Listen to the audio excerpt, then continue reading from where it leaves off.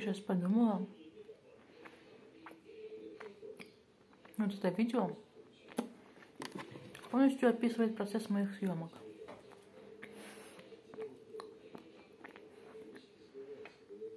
Кошка по вам соскучилась.